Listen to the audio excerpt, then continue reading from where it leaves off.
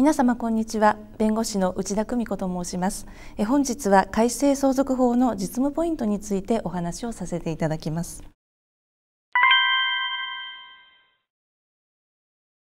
えまず具体的な内容に入る前に改正の経緯趣旨と概要についてえ申し上げます。えまず今回の相続法ができることになったきっかけなのですが平成25年9月に出されました最高裁の大法廷の決定がきっかけになっています具体的には着出でないこの相続分についてこれを違憲とする判断が出ましたこれを踏まえまして同年の12月にそれを踏まえた民法改正がなされることになりました。でその民法改正の、まあ、いわば、まあ、揺り戻しとしましてえ法律婚を重視するべきではないかという問題提起がなされまして今回の相続法の改正の検討に入っていったということでございます。そして平成27年の2月法務大臣による諮問がなされ部会による調査審議が開始されました。その後中間試案追加試案要項案を経て要項の決定答申がなされ平成30年の7月6日に成立し平成30年の7月13日に交付されております。今回の相続法なのですが具体的には2本の法律によってできております。一つが民法及び家事事件手続法の一部を改正する法律もう一つが法務局における遺言書の保管等に関する法律です。こちらは昭和55年以来約40年ぶりの相続法制に対する見直しになっています。昭和55年の改正といいますと配偶者の法定相続分が引き上げられたといったような改正があった時ですがその時以来の大幅な見直しとなっております。えでは、えその具体的な概要について、え確認をしていきたいと思います。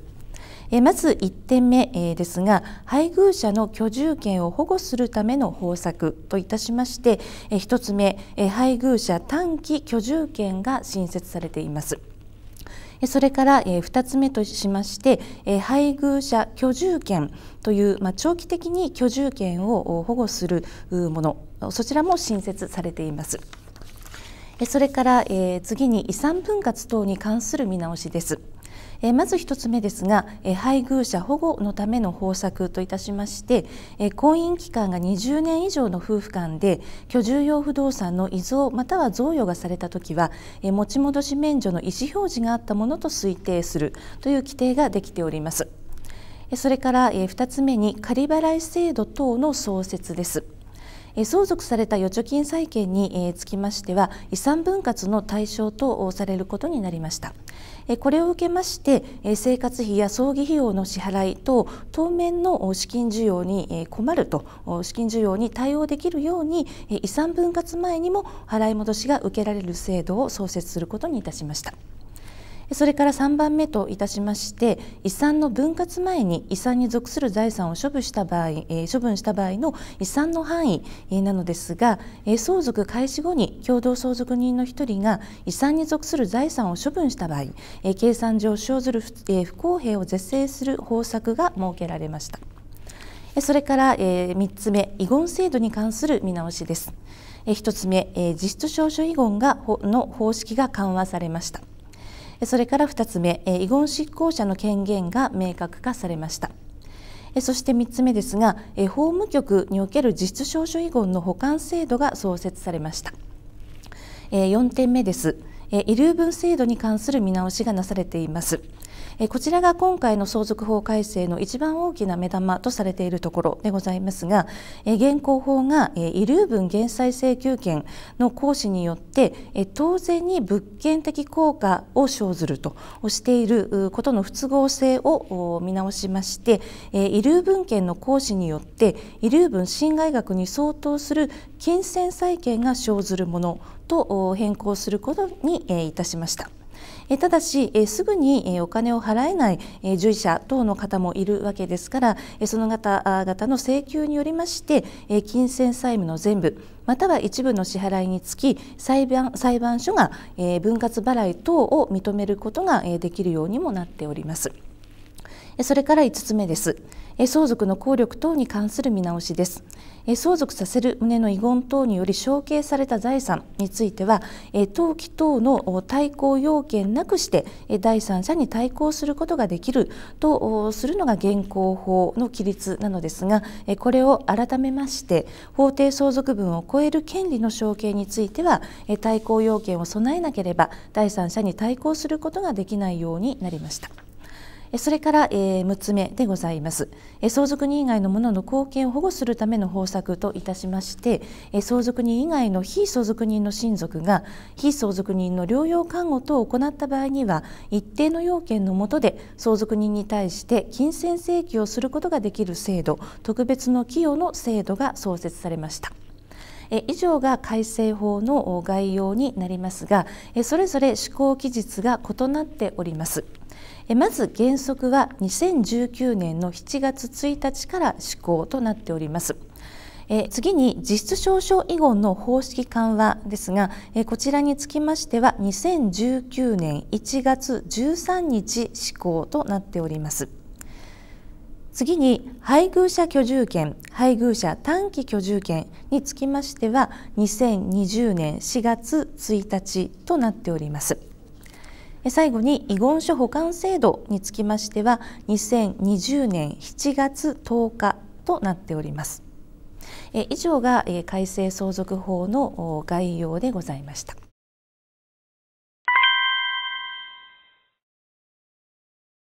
では、えー、次に、えー、具体的内容に入ってまいりたいと思います。え、まずは配偶者の居住権を保護するための方策といたしまして、え、1つ目の配偶者の居住権を長期的に保護するための方策配偶者居住権から見ていきたいと思います。え、まず見直しのポイントですが配偶者が相続開始時に居住していた非相続人所有の建物を対象として、えー、終身または一定期間配偶者に建物の使用を認めることを内容とする法定の権利配偶者居住権を新設することにしました。こちらの配偶者居住権ですが遺産分割における選択肢の一つとしてえまたは非相続人の遺言等によって配偶者に配偶者居住権を取得させることができるようにするものです。えまず現行制度がどうなっているかということなのですが、え例といたしまして、え相続人が妻および子遺産が、え自宅評価、え2000万円の自宅とそれから預貯金3000万円であった場合え妻と子の相続分は1対1ですので、え妻2500万円子2500万円ということになります。でこの点妻が、えー、自宅に住み続けたいと思って、えー、自宅の所有権を取得するとします、えー、そうしますと評価が2000万円ということですから、えー、預貯金は500万円しか受け取れないということになってしまいます、えー、そうしますと妻は、えー、自宅には住み続けられるけれども手持ち資金がないということで、え、今後の生活が不安だということがございました。そこでそのような現状を改善する方法として配偶者居住権という権利が新設されました。こちらは配偶者居住権という権利ですので所有権よりは評価が安くなりますでそこで妻がこの配偶者居住権を取得しで子どもが負担付きの所有権を取得しまあ、そうしますと妻はこちらの例ですと例えば預貯金は1500万円受け取れることになって、えー、生活が安心となるということで、えー、ございます。以上が、えー、配偶者居住権が新設された趣旨ということでございました。そこで、えー、配偶者居住権についてもう少し、えー、法律の中身を見ていきたいと思います。まず配偶者居住権とはということですが民法の1028条1項に規定がございます。1028条1項には非相続人の配偶者は非相続人の財産に属した建物に相続開始の時に居住していた場合において次の各号のいずれかに該当する時はその居住していた建物の全部について無償で使用及び収益をする権利を取得するとあります。こちらが配偶者居住権の定義になります。次に「い」のところ配偶者居住権の取得はどういった場合にするかということなのですが1028条1項1号2号そして1029条に記載がございます。まず1028条1項の方ですがまず遺産分割で取得することがあります。それから2号としまして遺贈として取得することがあります。それから1029条こちらは家庭裁判所の審判による、取得です。えー、以上が配偶者、えー、居住権の取得のパターンなどですがいずれにしても配偶者が望まないのに居住権を押し付けられるということはないようになっております。次に、えー、配偶者居住権の存続期間ですが、えー、1030条で、えー、原則は終身となっております、えー、つまりその配偶者が、えー、生きている間は、えー、無償で住むことができる権利でございます。え次に、え配偶者居住権の効力に移ります。まず配偶者居住権の効力の最も重要なものですが、登記請求権そして第三者対抗要件です。配偶者居住権は、登記することができますが、こちら登記をいたしますと居住建物について物件を取得したもの等に対抗することができることになっています。え具体的には、え配偶者居住権の負担付きの所有者がですね例えば先ほどの子どもから、え別の第三者に変わったとしても、え配偶者はそのあの変わった方に対しても自分が住み続けられる権利というものを主張することができるということです。でこちらの第三者対抗要件というのは登記をして、えー、認められるものでございますので、えー、言い換えれば配偶者居住権の登記をするることが大切だということになります。次に妨害停止請求権妨害排除請求権ですが、まあ、こちらは、えー、配偶者のあの居住を妨害する者がいた場合に、えー、そちら裁判所に、えー、訴えを提起することができるということです。え次に、えー、配偶者による使用収益、えー、でございますけれども、え、所有者は、え、別に、え、いますので、えー、用法を遵守し、え、善良なる管理者の注意を持って、え、使用収益をしなければならないとなっております。それから次に、えー、非譲渡制、えー、ですが、えー、こちら配偶者居住権というのは配偶者が亡くなると消えてしまう弱い権利、えー、でございますので、えー、譲渡するということが予定されておりません。したがって、えー、非譲渡制を有しております。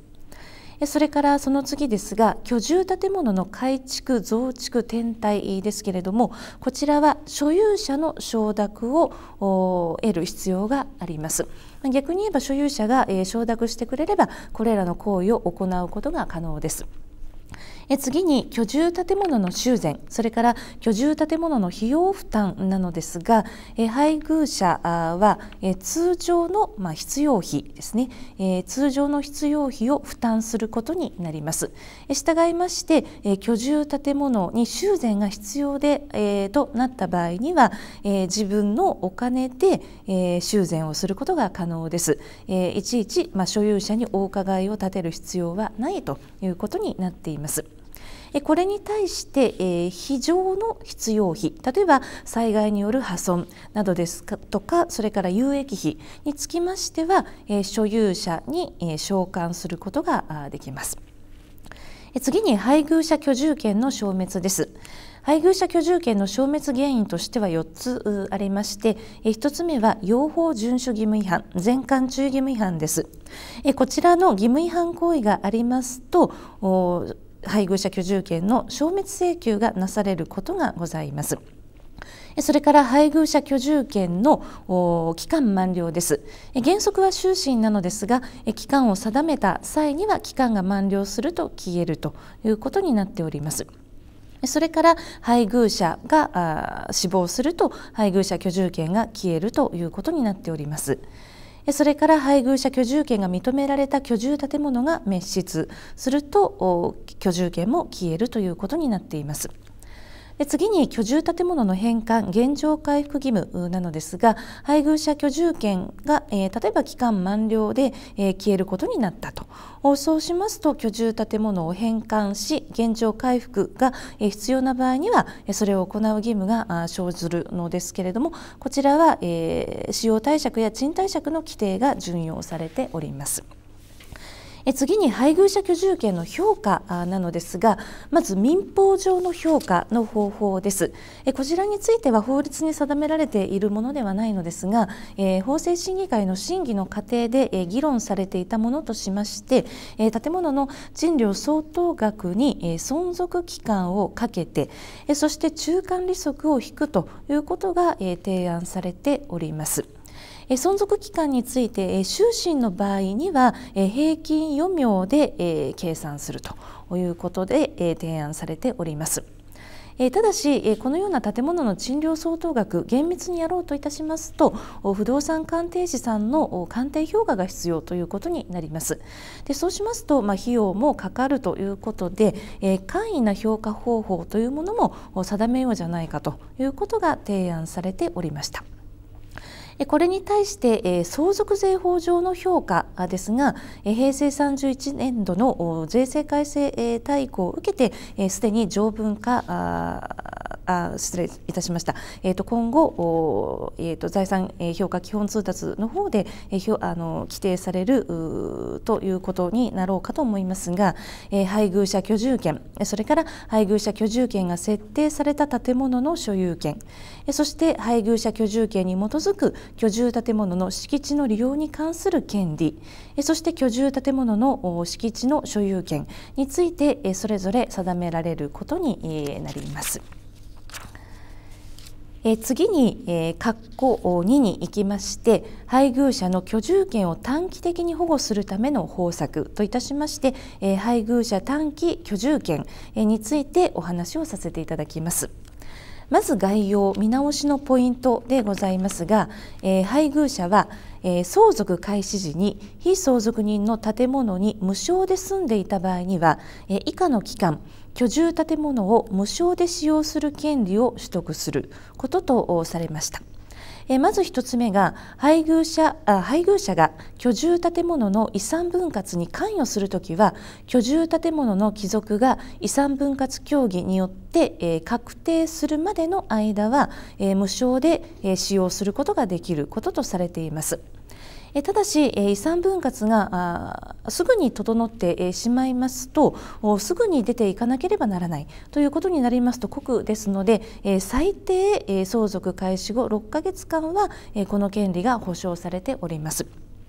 え次に2つ目ですが居住建物が第三者に遺贈された場合や配偶者が相続放棄をした場合であっても居住建物の所有者から消滅請求を受けてから6ヶ月の間は無償で使用することができることとされましたこちらの2番が今回の改正のポイントということになります。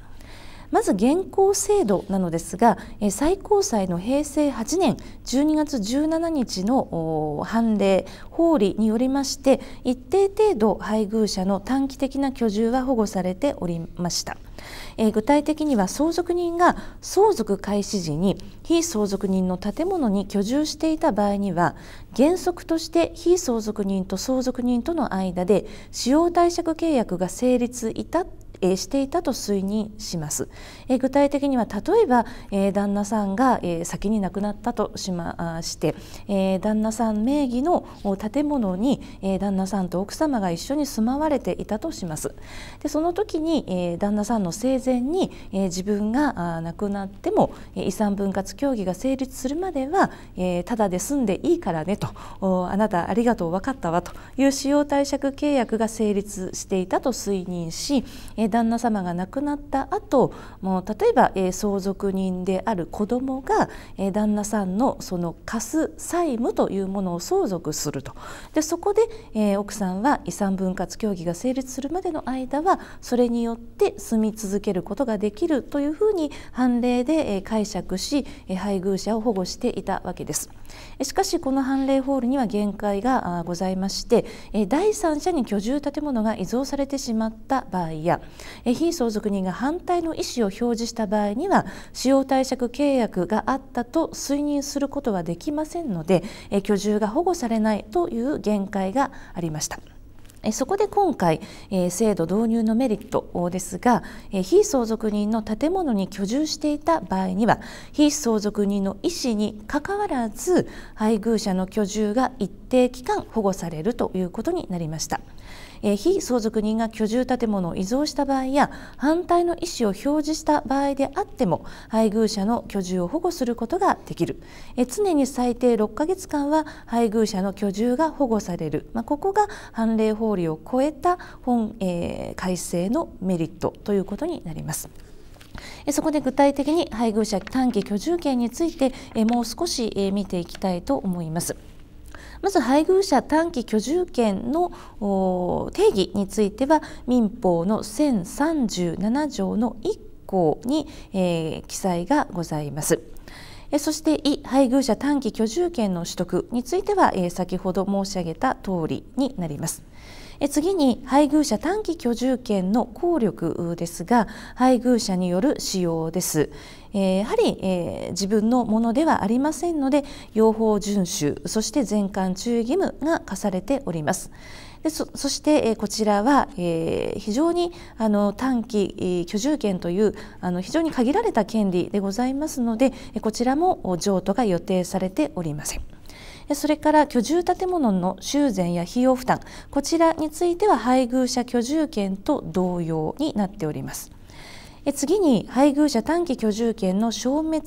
消滅原因ですが養蜂遵守義務違反全館注意義務違反それから配偶者居住権を取得した場合こちら配偶者居住権の中に包摂されますのでその場合は短期居住権が消えるということになっております。それから配偶者が死亡した場合そして配偶者短期居住権が認められた居住建物が滅失等した場合に消滅することになっております。そして居住建物の返還現状回復義務等につきましてはこちらも配偶者居住権の場合と同様となっております。次に配偶者短期居住権の評価でございますがこちらは、えーと、現行法もそうですけれどもこちら短期的に住むものを、えー、評価して、えー、遺産分割で考慮するということはございません、えー、ので、え、新法になっても同様ということでございます。評価は特に問題になりません。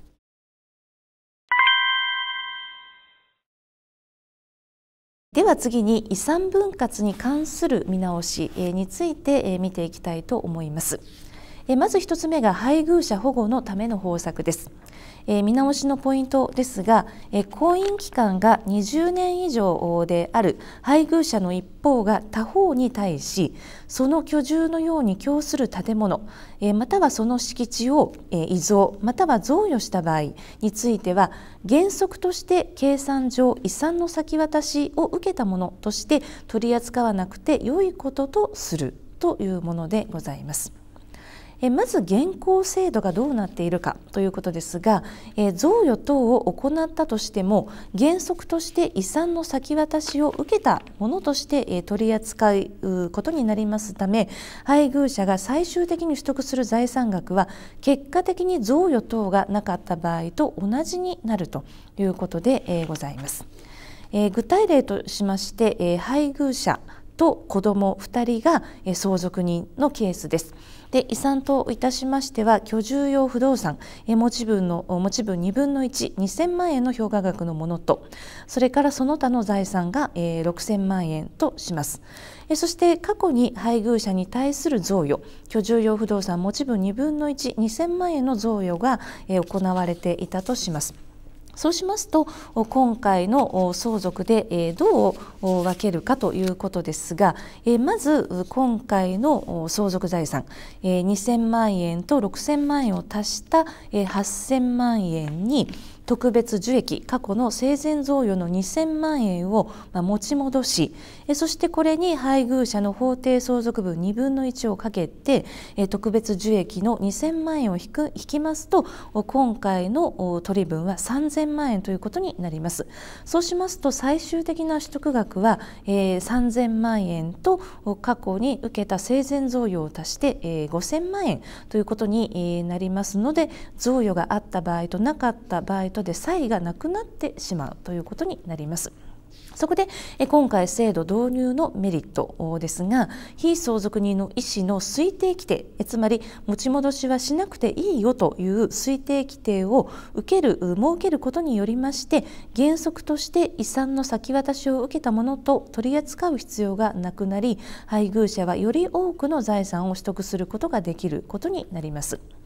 先ほどの事例で言いますとまず今回の相続財産8000万円ですがこれに持ち戻し計算をいたしませんのでそれに配偶者の相続分をかけますと2分の14000万円ということになりますそうしますと最終的な取得額は4000万円と2000万円で6000万円ということになりより多くの財産を最終的に取得できるということになります。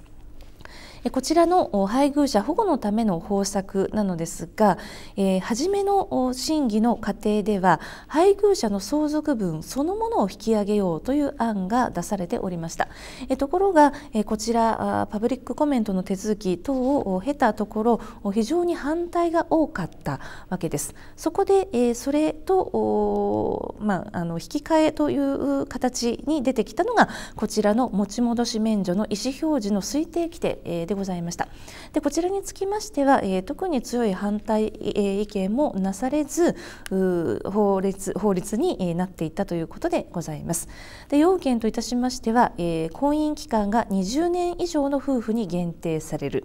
そして居住用不動産に限定されるえそして遺贈も対象とされる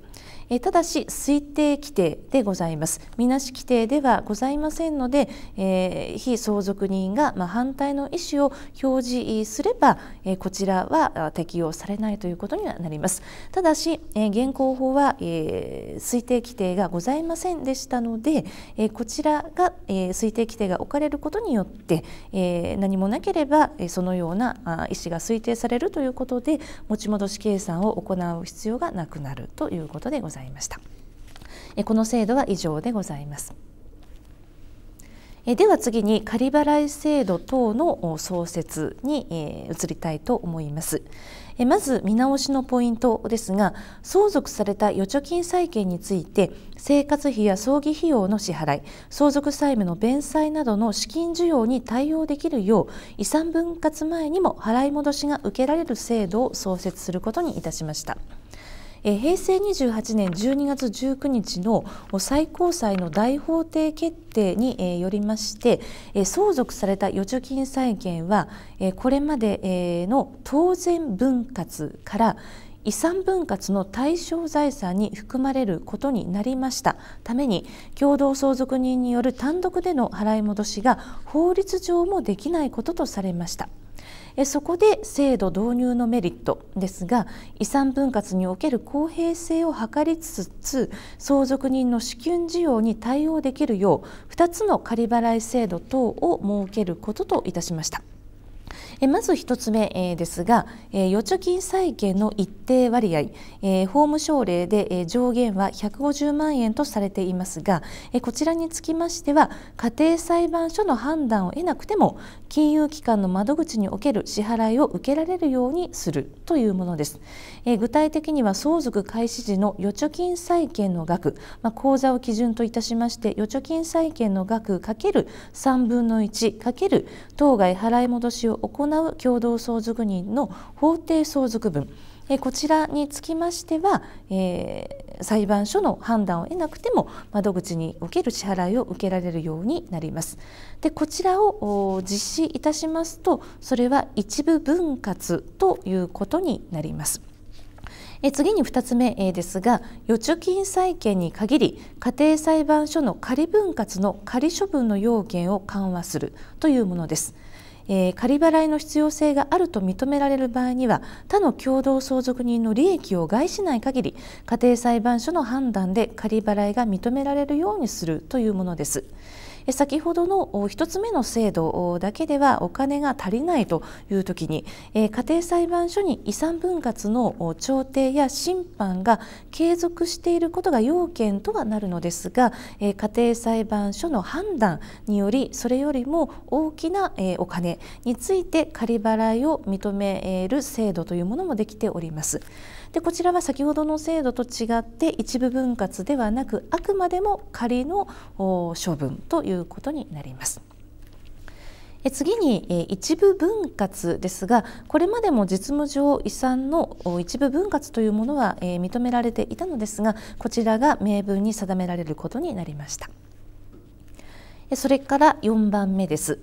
遺産分割前に遺産に属する財産を処分した場合の遺産の範囲でございます。まず見直しのポイントですが相続開始後に共同相続人の1人が遺産に属する財産を処分した場合に計算上生ずる不公平を是正する方策が設けられることとなりました。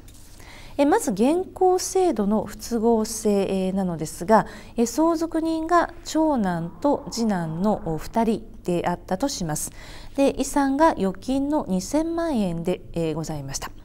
ところが長男は、えー、生前贈与を受けておりまして、え、これが2000万円であったとします。でところがその生前贈与を受けていた長男が相続開始後に密かに預金1000万円を引き出してしまったというケースです。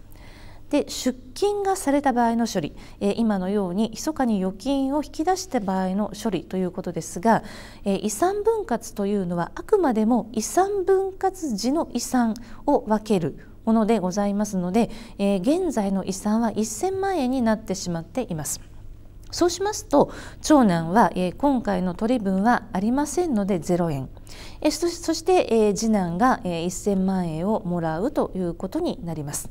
えとところが、えー、引き出してしまった1000万円については遺産分割では解決ができません。そこで、えー、次男が民事訴訟において、えー、救済を求めたとします。ところが民事訴訟においては具体的相続分例えば、え特別受益といったものを前提として、えそれで不法行為だとか不当利得だといって、え請求を行うことは、え理論上困難とされています。えそうしますとせいぜい仮に、え不法行為や、え不当利得による請求をしたとしても相続分法定相続分の範囲にとどまるのではないかということが、解釈上言われておりました。そこでこのような不都合を回避するために法律上規定を設けることとしています。具体的には、えー、処分された財産につき遺産に組み戻すことについて処分者以外の相続人の同意があれば処分者の同意を得ることなく処分された預貯金を遺産分割の対象に含めることを可能とし不当な出金がなかった場合と同じ結果を実現できるようにしております。で先ほどの例で、えー、見ていただきますと長男の取得分ですが、えー、今回本来の取り分は0円です。ところが1000万円を出金してしまっておりますのでその分代償金として1000万円を払えと。でこれに対して次男は本来の取得分は2000万円ですのでえ今回の相続財産である1000万円プラス代償金として1000万円を得るとこのような家庭裁判所で審判を行うことが可能となりました。こちらの要件ですが906条の2という条文に書かれております通り相続処分財産が相続開始時に非相続人の遺産に属していたこと。処分財産を共同相続人の1人または数人が処分したこと。え処分者以外の共同相続人全員が処分財産を遺産分割の対象に含めることに同意していることえこちらの要件が整いますと先ほどの処分処分された財産を遺産にえ組み戻すことが可能となるということでございます。では次に4つ目遺言制度に関する見直しにいきたいと思います。えまず1つ目は実質証書遺言の方式緩和です。えー、見直しのポイントですが、えー、実質証書にパソコン等で作成した目録を添付したり、えー、銀行通帳のコピーや不動産の登記事項証明書等を目録として添付したりして遺言を作成することができるようになりました。えー、旧法では実質証書遺言を作成する場合には全文辞書する必要がありました。えところが、え財産目録を特にお年寄りの方がですね、え実質で、え全部書くというのは非常な、え非常に大変なことでございました。そこで今回辞書によらない財産目録を添付することができると改正を行うことにいたしました。そして、えこちらの財産目録ですが署名押印は、えしなければならないということになっておりますので、え偽造も防止できるという工夫がされております。次に2つ目としまして実質証書遺言の保管制度が創設されることになりました。え実質証書遺言にかかる現状ですが、え実質証書遺言にかかる、え遺言書は自宅で保管されることが多くえその場合遺言書が紛失亡失してしまったり相続人により遺言書の破棄隠匿改ざんが行われる恐れがあり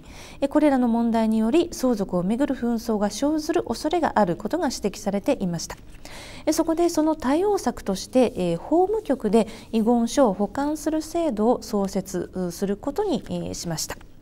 で具体的には遺言書保管法それからこちらの委任を受けた法務省令で定めることになっておりますが、え具体的には、えそちらを参照することにはなりますが概要どのような制度かと申しますと、え法務局において実質証書遺言の原本を保管し同時に画像もデータ化をいたします。相続開始後相続人等は遺言書の保管の有無を調べること。遺言書の写しの交付を請求すること。それから遺言書の閲覧が可能となります。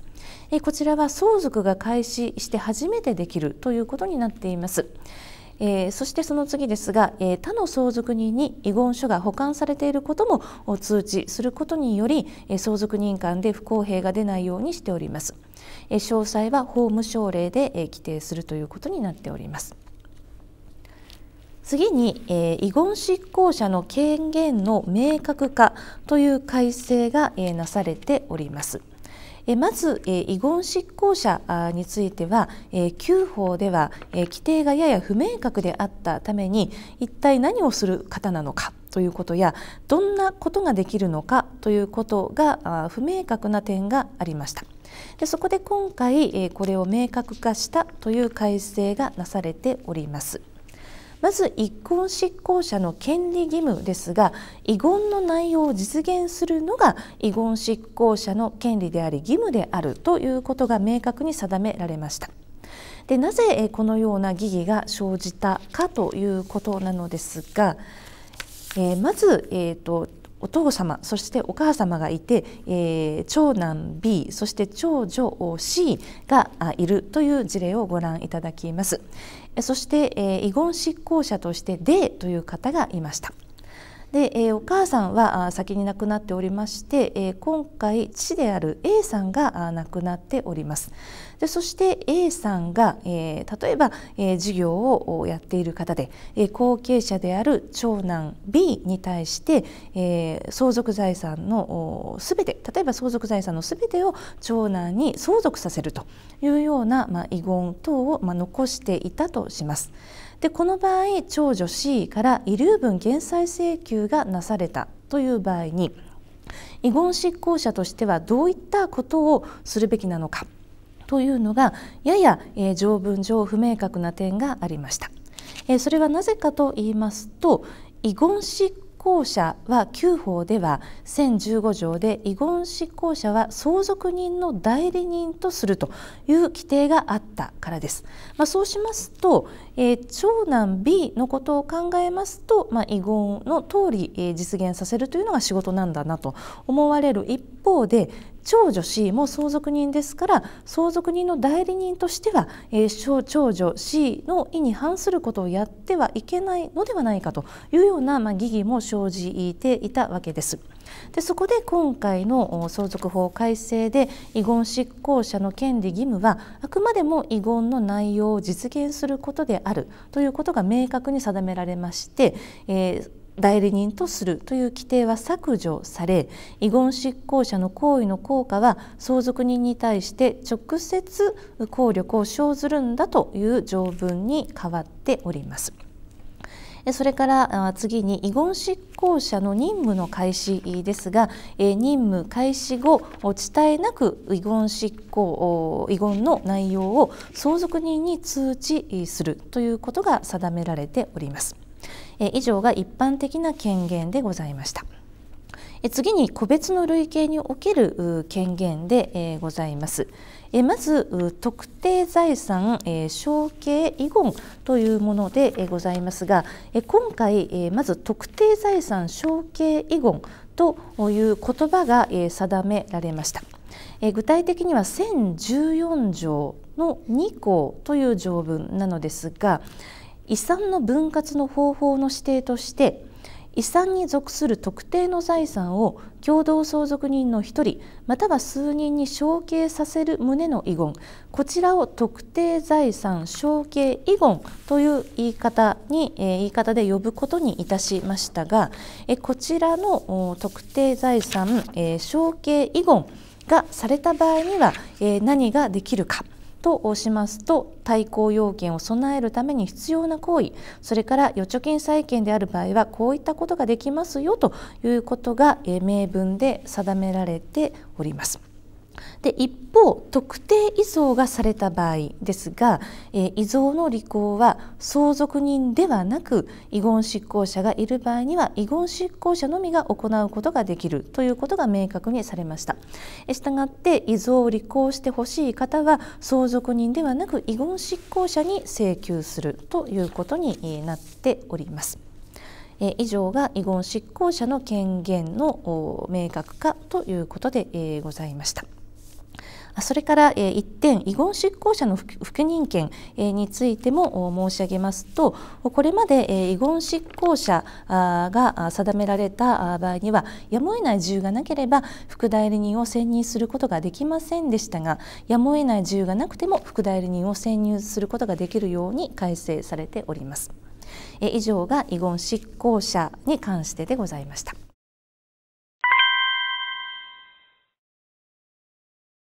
次に遺留分制度に関する見直しに移ります。えまず1つ目ですが遺留分減債請求権の効力そして法的性質の見直しです。えまず見直しのポイントですが、え遺留分減債請求権から生ずる権利が金銭債権化されます。それから2つ目ですが金銭を直ちには準備できない従者または受贈者の利益を図るために、え、従者等の請求により裁判所が金銭債務の全部または一部の支払いにつき相当の期限を付与することができるようにされました。まず現行制度なのですが、え、図を見ていただきますと長男 B に、えーまあ、例えばある不動産を、えー、相続させるという遺言がなされこれによって、えー、長女 C の遺留分が侵害されているとしまして、えー、この長女 C が遺留分減債請求権を行使いたしますと旧法では、えー、この遺留分減債請求権が物件的効果を持つ結果、まあ、物件的効果というのは、まあ、所有権ということですからこの不動産が共有になってしまうということになってしまいました。えそうしますと B は、えー、共有になってしまったこの不動産をあの自由に処分等することができなくなってしまいます。まあ、これが事業承継の支障になっているという指摘がございました。そこでこの不都合性を回避するために、えー、新しい改正法では、えー、C の遺留分が侵害されている場合に、えー、C は B に対して遺留分侵害額請求としまして侵害されている遺留分を金銭で、B に請求することができる、まあ、言い換えれば金銭でしか請求できないという権利に変わっております。でこれにより、え制度導入のメリットですが遺留分減債請求権の行使により共有関係が当然に生ずることを回避することができるということになりました。そして、えー、受益者受贈者の負担額なのですがこちらは現行法の、えーえーと、順序と同様で、え、ございまして新しいものから減債していくということでございます。次に、えー、遺留分の算定方法の見直しです。えー、1つ目としまして遺留分を算定するための財産の価格ですが「えー、あ」が、まあ、重要な改正です。えー、遺留分算定の基礎となる財産に含めるべき相続人に対する生前贈与の範囲に関する規律ですが、えー、旧法では相続開始前、えー、特別受益に、えー、当たるものについては、えー、特に限定なくすべて、えー、こちら遺留分を算定するための財産の価格に含めるとされておりました。でこちらを相続開始前の10年間の特別受益に限ることとしております。えこちらも先ほどの遺留分減債請求権の法的性質の見直しと同様に、え重要な改正点ということで、えございます。それから、え負担付き贈与に関する規律それから不相当な対価による優勝行為があった時の規律こちらについては、え争いがあったものを明文で、えまあ、明確にしております。次に、え遺産分割の対象となる財産がある場合に関する規律ですが遺産分割の対象財産がある場合に遺留分侵害額の算定をするにあたり遺留分から遺留分権利者が取得すべき遺産の価格をを、えー、明確化いたしました、えこちらも解釈にやや争いがあったのですが、えー、条文で明確にされております、え具体的には、え遺留分は遺留分を算定定するための財産の価格×遺留分率×遺留分権利者の法定相続分。なのですが、え遺留分を算定するための財産の価格につきましては、え先ほど申し上げました通り相続人に対する特別受益に該当する贈与は、え相続開始前10年以内のものに、え限定されることになりました。それ他の改正はございません。で次に遺留分侵害額につきましては遺留分から遺留分権利者が受けた特別受益を引いて遺産分割の対象財産がある場合には具体的相続分に応じて取得すべき遺産の価格を引いてこれに遺留分権利者が、承継する相続債,、え債務の額を足すということで、明確になっております。え、寄与分による修正は考慮しないということも明確になっております。次に、遺留分侵害額の算定における債務の取り扱いですが、遺留分侵害額請求を受けた受益者等が遺留分権利者の相続債務を消滅させる行為をした場合意思表示によりその限度で受益者等が負担する遺留分侵害額を消滅させることが可能となりました。えー、具体的には、えー、図を見ていただきますと、えー、お父様 A が亡くなりでお母様はすでに亡くなっておられるというあの事例で、え、長男 B そして長女 C が、まあ、相続人です。で、えーと、長男 B が、えー、長女 C のまあ、遺留分を侵害しているということで、えー、長女 C から、えー、長男 B に遺留分侵害額請求が、まあ、来たとします。で一方長男はですね、えー、父 A が、まあ、あのお金を借りていてで、え債権者に D という方がいてでその方のその、えー、この、えー、父 A が、主債務を、主債務者であるこの貸金について、例えば長男 B が保証人になっていたり、そして、今回相続した、土地等に、まあ、抵当権がついているということが考えられるわけです。そうしますと父 A の相続債務については法定相続分に従い長女 C と長男 B が、相続することになるわけですが、長男 B としましては遺留分侵害額請求をされて長女 C に対して、実際にキャッシュアウトをするのであれば長女 C に返すよりは債権者にお金を返して借金を減らしたいと、思うことも考えられるわけです。でそこで長男 B が、えー、お金を返したとしますとその分長女 C の債務も消えるということになりますので、え長女 C に、えー、こちらを求償することが、まあ、できるわけです。でこちら長男 B の求償権と長女 C の遺留分侵害額請求権を、まあ、いわば相殺的な処理をすることができるようにしたというのがこちらの規定ということでございます。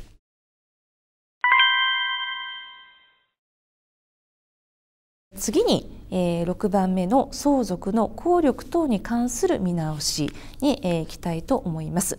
えー、まず1つ目ですが共同相続における権利の承継の対抗要件です。え見直しのポイントですが相続させる旨の遺言等により承継された財産については登記なくして第三者に対抗することができるとされていた現行法旧法の、え判例法理の規律を見直し法定相続分を超える部分の承継については登記等の対抗要件を備えなければ第三者に対抗することができないこととされました。で現行制度の不都合性なのですが遺言の内容を知り得ない相続債権者の等の利益を害するということです。例えば相続遺贈により長男が非相続人所有の不動産を取得することとされた場合次男の法定相続分での差し押さえをした相続債権者との優劣は遺産分割や遺贈の場合であれば登記の戦後で、え決まるのに対し相続させる旨の遺言がなされた場合には常に長男が優先することになり、え相続債権者等を害すると言われておりました。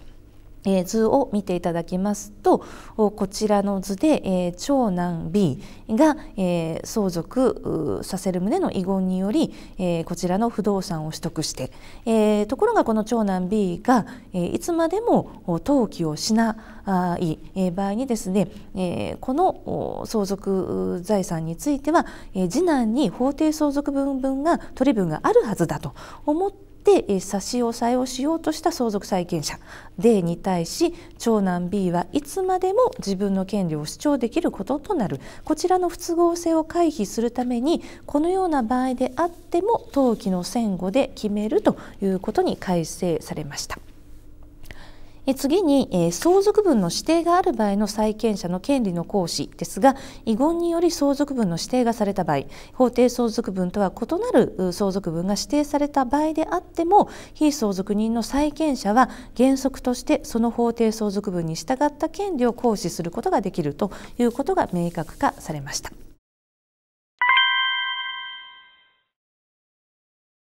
最後に、えー、相続人以外の者の貢献を考慮するための方策が新設されております。えまず見直しのポイントですが相続人以外の親族が非相続人の療養看護等を行った場合一定の要件の下で、え相続人に対して金銭の支払いを請求することができることとされました。現行制度ですが相続人以外のものが、たとえ非相続人の介護に尽くしたとしても相続人ではありませんので寄与分というような形で、多めに相続財産を取得することが、できないということで、ございます。え例といたしまして亡き長男の妻が非相続人の介護をしていた場合です。もし長男が生きていれば、え例えば長男の寄与分として、え多く評価するということも、まあ、成し得たわけですが、え長男が亡くなってしまうとそういうこともできないことになります。そこで今回制度導入のメリットですが、えー、相続開始後長男の妻は相続人に対して金銭の請求をすることができるということになりました。